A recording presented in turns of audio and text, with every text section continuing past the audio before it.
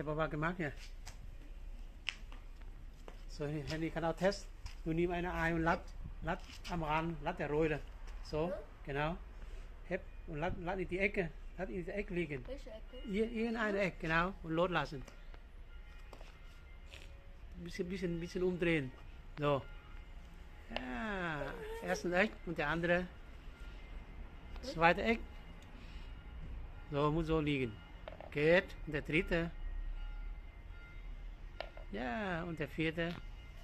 So, probieren wir das hier noch. Das ist echte Ei. Das ist Kunstei. Kunststoff. So. Ah, eins. Zwei. Ist das Sand? drei, Zement. Zement und Baukleber. Ah, funktioniert alle. Ist es Gut. getrocknet? Ich, bis morgen trocknen. Ich lade dann unten eine hohe Rau und wenn die Eier legen, dann die Eier wird runterfallen.